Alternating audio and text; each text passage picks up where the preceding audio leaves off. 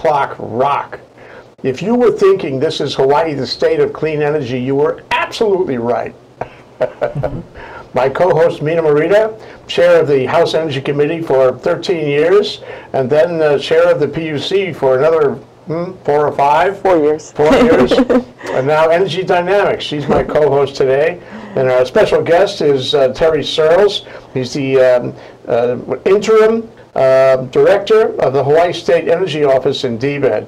Uh, and finally, we have David Aquino, who's for Blue Planet Foundation, and he's going to talk us about tell us about um, a deal he's made with Hawaii Energy. Okay, so welcome to you all. Thanks, Jay. Hi, Jay. Yeah, right, yeah, all right. And we'll let David go first because he's got a movie. If you guys had movies, we'd let you go first too. Okay, David, what do you got? Try not to fall asleep. um, yeah, so thanks for having me, Jay. You know, as you know, Blue Planet Foundation, uh, our mi- mission is to clear the path for 100% clean energy. Um, within that umbrella of clean energy, we feel that energy efficiency is the bridge to get there. Yeah. Um, so we rec- recently partnered with Hawaii Energy um, on a campaign called Small Kind Ridiculous. What is Um, it? Small Kind Ridiculous. I thought you said small kind ridiculous. it is. Yeah. Small Kind Ridiculous. And that's the name of your website, smallkindridiculous.org. Smallkindridiculous.org Fabulous. is a is a You're the director of innovation. You must have come up with that, right? yeah, yeah. We definitely brainstormed and together we came up with this concept. And uh, what we're trying to do is get people to be smarter with their energy use. You know, it's obvious in you know our daily lives that waste is ridiculous when it comes to like wasting water or wasting money. You know, but we don't usually think the same thing about energy. And that's why we created the campaign Small Kind Ridiculous. And actually, we'll just roll the video right now and you can see what's so Okay, ridiculous let's see the video. Here we go.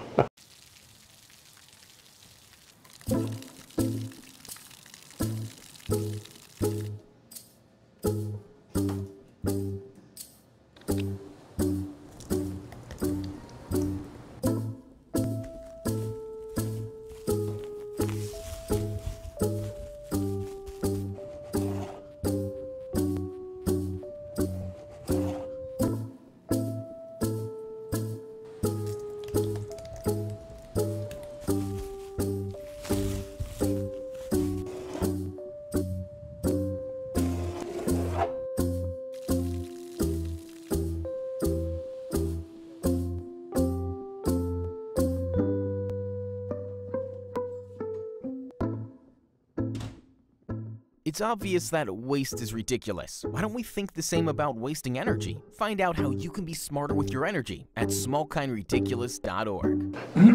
Wow, that's really a funny movie.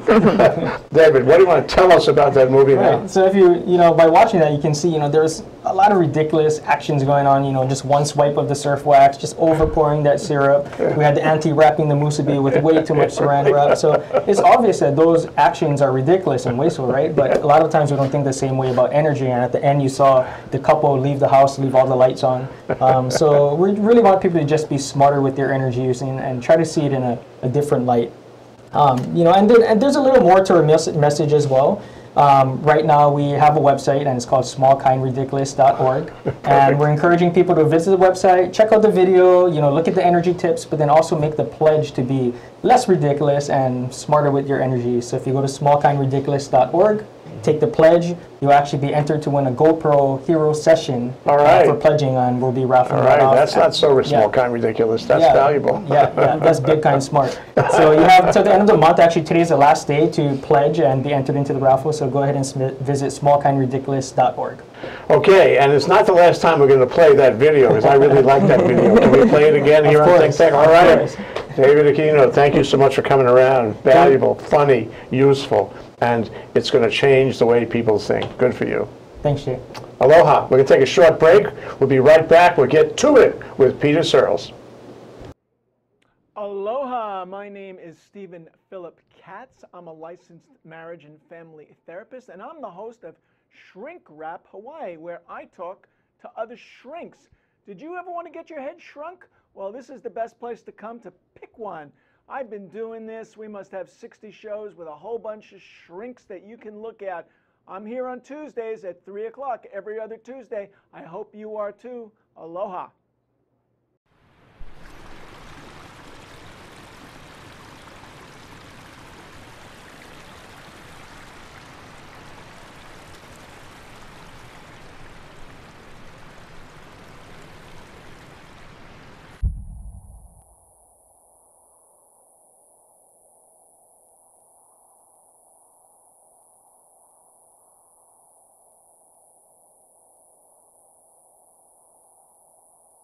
What? It's not, Peter. It's. Terry. How could you let me do that?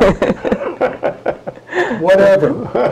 So what does it mean to be the uh, interim uh, executive director, or rather, what is it, director of the Hawaii State Energy Office? What does it mean? Okay, so, so before I get into that, I want to give a commercial for David because uh, to me, energy efficiency is critical for meeting our goals. And I think that uh, if, if we just think only in terms of renewables while being either wasteful from a conservation standpoint, which is what that slide, or that little presentation was all about, we're not thinking about new ideas of new building envelopes, new energy efficiency appliances, or new technologies that allow us to do a better job with demand response. I, I mean, it, it will be tough getting to meeting the hundred percent goal. And I think if, uh, it's a lot easier to meet the hundred percent goal if we're driving down our, uh, in this terms, the electricity use. So I, I really appreciated that little video. It was a lot of fun and, uh, it was spot on. Well, let me ask you, um, how much of the 100% goal is energy efficiency? Well, you know, if you think about the original, and this is when Mina and I were around in 2008 when we were wearing different hats, is that uh, is that the original goal was by 2030, because that was the original set of goals for the um, for the uh, Clean Energy Initiative, was 40% renewables and 30% energy efficiency. Or was it the other way around? Yeah, That's it- correct. That's correct, yeah. And so basically, it was all along, it was going to be driven by us being much more energy efficient. And uh, people conserve better for energy when, for example, back in 2008, the, uh, because of very high oil prices, of $150 a barrel then, that uh, people on the Big Island, for example, were paying close to 50 cents a kilowatt hour. So, you know, people started conserving.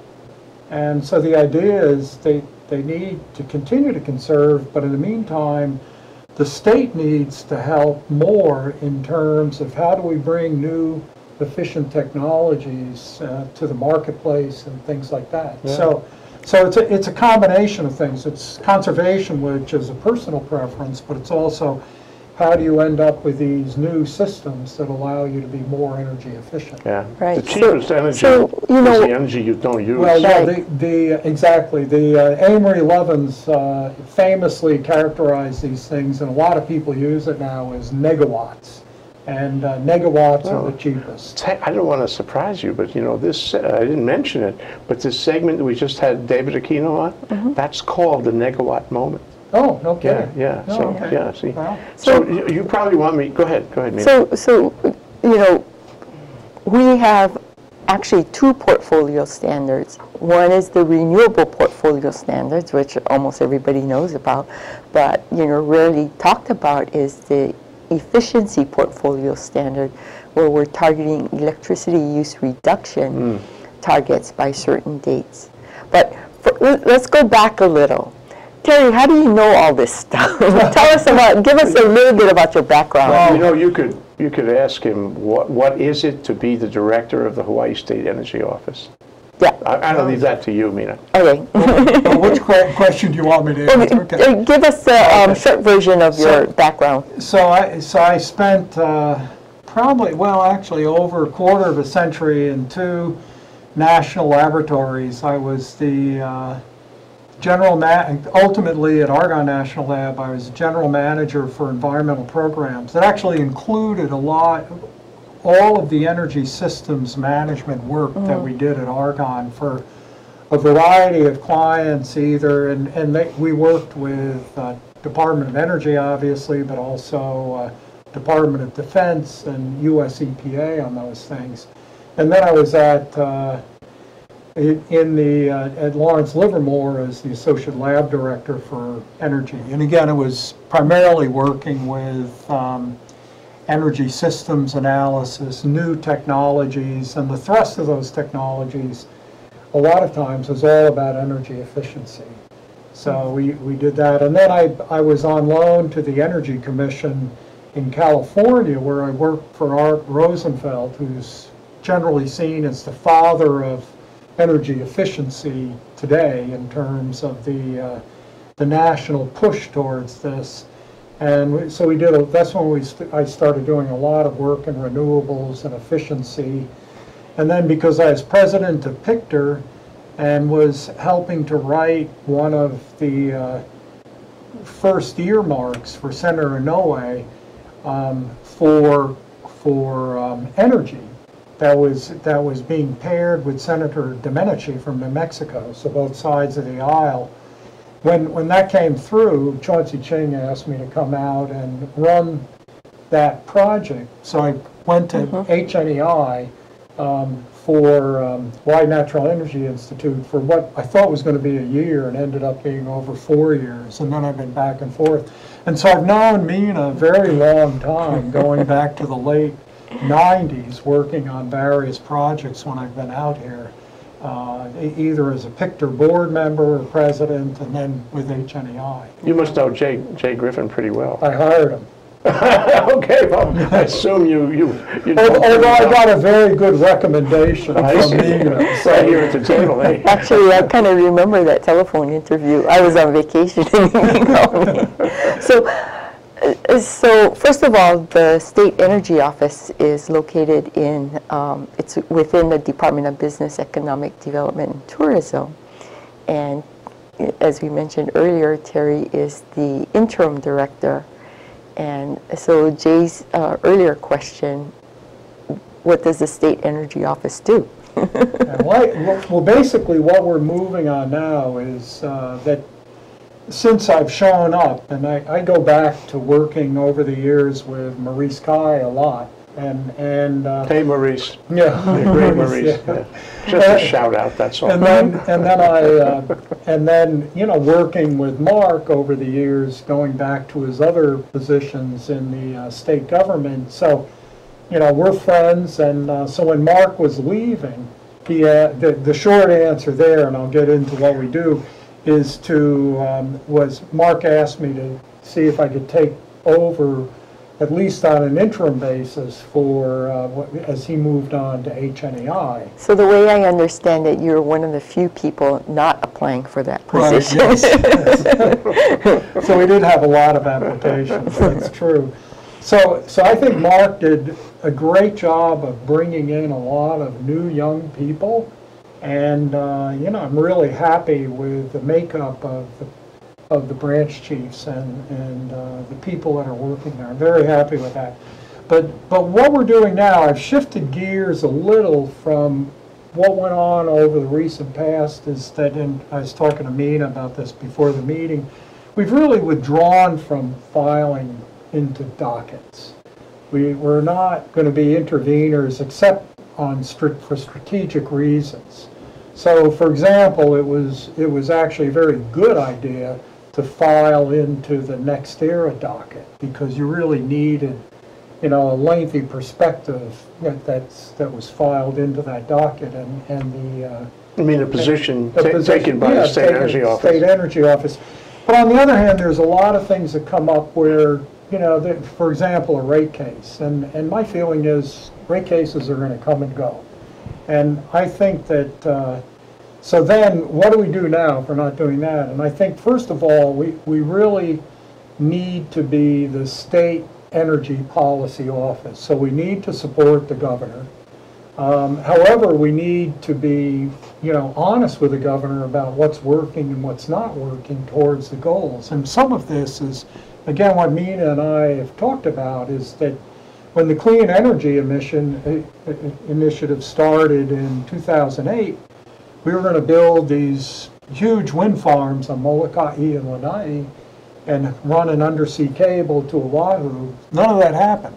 But in the meantime, we're meeting our renewable portfolio standard goals because wind turbine technology, the prices have come down, they've become more efficient, they're better able to deal with frequency and voltage uh, variations.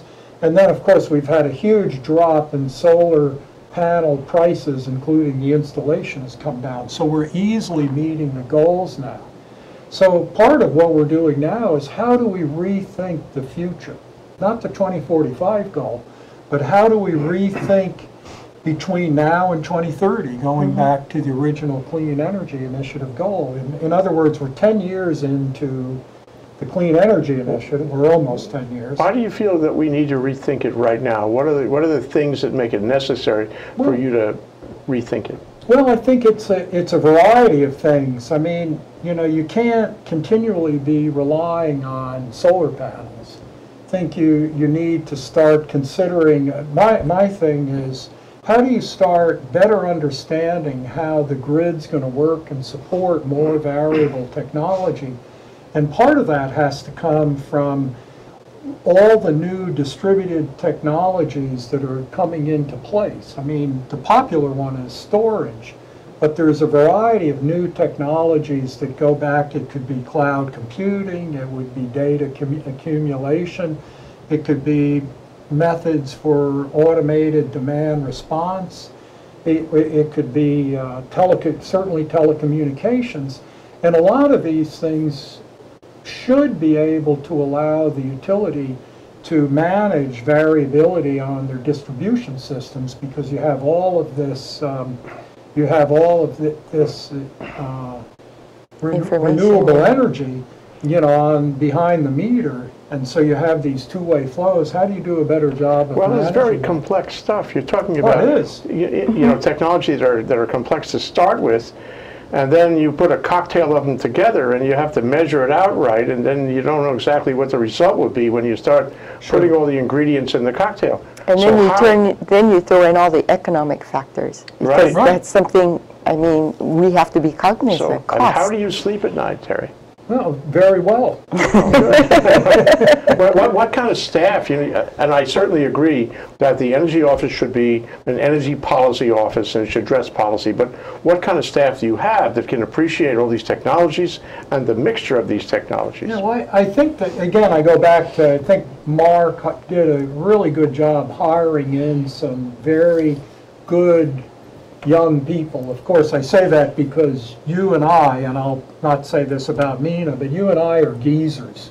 So, uh, and these people are, Present company, yeah, right, right. And so these folks are, are young, they're enthusiastic, and they're knowledgeable about a lot of the technologies. There's a real good team there, and the idea is, how do you take that forward? So you get back to the idea that uh, not only should we be the policy office, where we can really weigh into these things and then be honest about where we might be going, but the other thing is, I think we need to do a better job facilitating interaction. That's one reason I didn't want to be in the dockets.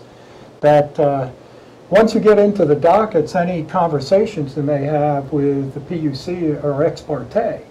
And I, I- my aside from spending time in California is that uh, the previous uh, president of the California Public Utility Commission had the FBI raid He his got into a lot of trouble. because of too many ex parte discussions, so. And it's extractions. difficult, Right. So, so the idea is if you're not in the docket, you can talk to anybody, and you should be facilitating interaction between, David who was just here from Blue Planet, the, the folks at the, in Hawaii, HECO, the, um, the PUC and others, that interested parties, and how do you move that dial along where you're, where you start getting consensus on a number of things that you may not So- normally have? So Jay, well, I think this is really important, having um, um, this body of sort of experts or knowledge within DBED, and especially in the energy office, is that's a resource for the administration, um, the governor's office. That's a resource for the legislature, and it's a resource for other departments in moving forward. May I, may I add the thought, though, that um, we have, we don't have enough time to identify all the potential organizations that could take leadership positions in the, in the, uh, you know, the landscape of the energy community, in, both in government and in private sector. I mean, just to list a few, the utility, they, they could take a leadership position. yeah? They, they should be leaders. They should be, They okay. should be leaders. Uh, PUC, they could take leadership positions, uh, such as what you did in, uh, in your inclinations paper, famous inclinations paper a couple of years ago. Um, The, uh, certainly the legislature, like it or not, the legislature is in a leader pos- position, whether you like it or not, we can talk about that. Um, And it's governor himself, aside from the energy office, as a part of his administration. I could go on. Problem is, there are so many potential uh, companies and organizations and governmental agencies that could be, maybe each of them in their own way should be the leader. Who, where does, where does the, this goes back to my original question, right? Where does the energy office fit in this constellation of potential leaders? Well, you know, I think it goes back, th- there's a limit to what the PUC can do with policy, because they have to regulate policy. And, and, uh, you know, it's the same issue in California, that there's some things going on where I had to take leave when I came out here. We were working on some automated demand response work for the, uh, for the California Public Utility Commission. Well, I was happy to get the money for that, you know, as a retired annuitant for University of California. I was also um, felt that it should more appropriately be at the California Energy Commission, because they should be the policy office, you know, their standard setting and so on, because the CPUC has to develop regulations. Do you think there should be an energy commission here in Hawaii? Uh, or possibly something along the lines of Robert Moses' uh, concept of uh, an energy authority? Well, having, having served hamburgers to Robert Moses when I right? was a kid, in one of my early jobs. Oh, wow. My, my guess is. uh, You're right that's about probably- geezer thing. Probably not, yeah, probably not a good idea.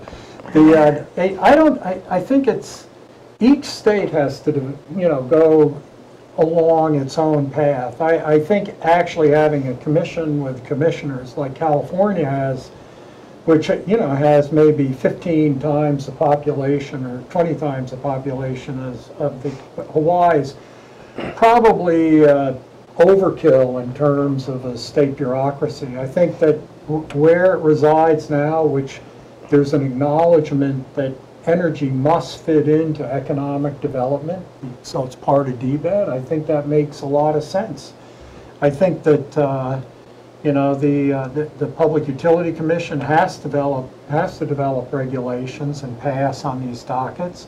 They do need a technical staff, which, you know, I think Mina helped beef up when she was there and, you know, heading the commission. So I, I think all that comes into play. So there's, there's a dynamic here. And, and I, you, and there, just as there's a dynamic in any other state, you know, I mean. Yeah, you- I, I think you, you, you don't want to invest in the bureaucracy. What you really want to invest in is in, in people and finding the right leadership in various organizations. People have to understand that they need to work collaboratively. Um, so I think that's what's needed right now. It's the, it's the right leadership in these uh, different po- positions that um, un- understand the, the larger picture and how to get there. Well, this goes, I suppose, to a question that you raised before, and that is, so what's going to happen now? The interim means not forever. I I think it means not forever. What happens Yeah, now?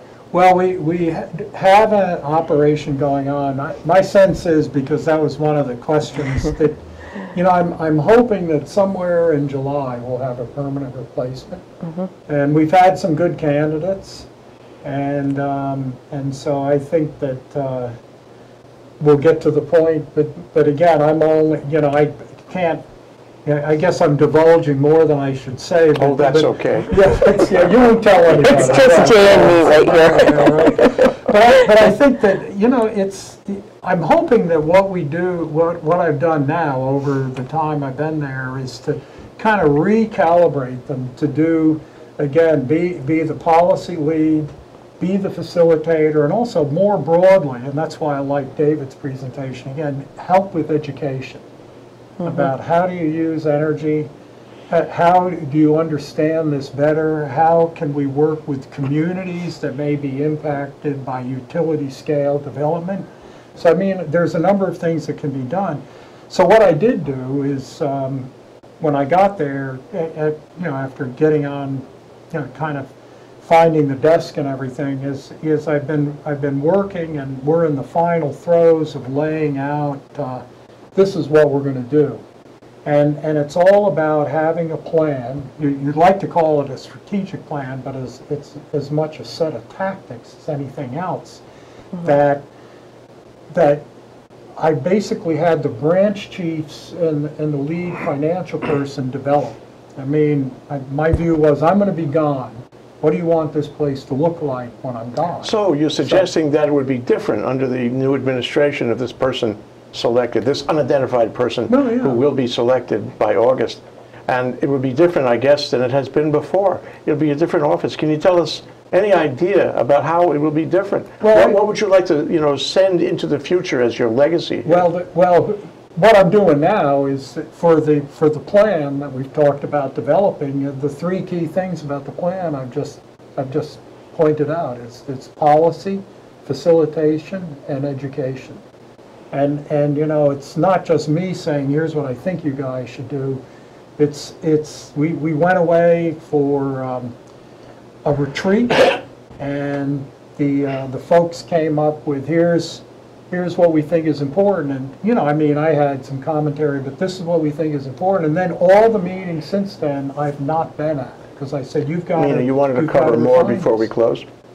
Um, no, I, I, I- I think we were waiting with bated breath for an announcement.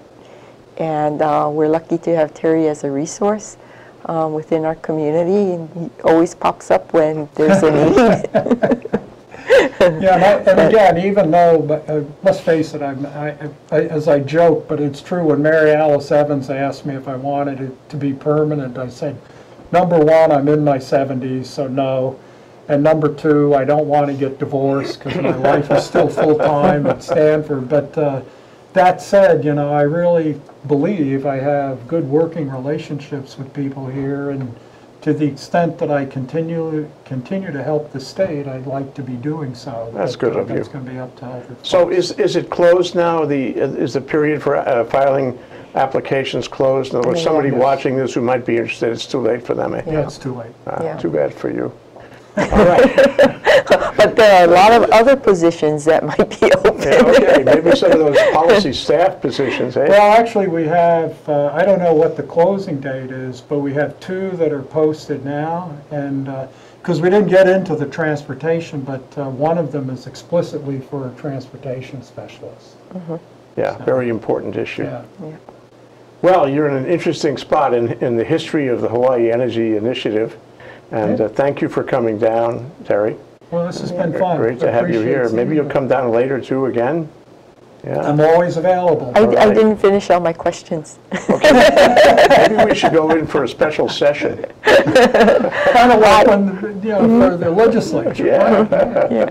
Well, you close, M- Mina. Well, thank you, Terry. So this closes our um, month of what's happening at the legislature, uh, focusing on watchers, people, the advocates who participate at the legislature, the doers. We had um, two legislators um, talking story with us, and, and now a, a vision from the implementer, people who have to carry out the policy and, and, and also educate. And uh, so that closes out the legislative watch of uh, Hawaii State Oh. of Clean Energy this month. Thank you, Mina Morita. It's been great Mm-hmm. to work with you this, this whole month. It's been terrific. Thanks, Jay. Appreciate it. And thank you, Terry, for coming Yeah, down. Good, it's great being here. Good luck to you, whatever it is. Whatever it may be. Well, this year, the only problem I had is this job really cut into my skiing. Because when you get over 70, there's a lot of places in the Rockies and Sierra where they give you super geezer discounts. That, um, You got to hit 80 to be free, at Mammoth. right, right, and, and, and at North Star, but, but there's some places where you hit 70 and you've gone through a senior discount and then you hit 70 and a super geezer discount. So like at Arapahoe Basin in, in Colorado, I was with my son a couple years ago and it was $95 for him and 20 for me. Well, cheer up. It's $100 to get into Disneyland. Thank you very much, both. Okay. Aloha. We'll see you next time. Thanks.